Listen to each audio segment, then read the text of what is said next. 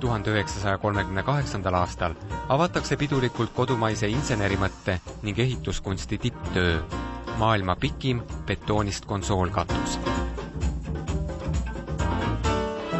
samal päeval leidis staadionil aset ka jalgpallivõistlus Eesti rahvusmeeskonna ja Racing Club de Strasbourgi vahel, mis lõppes viigiga üks-üks.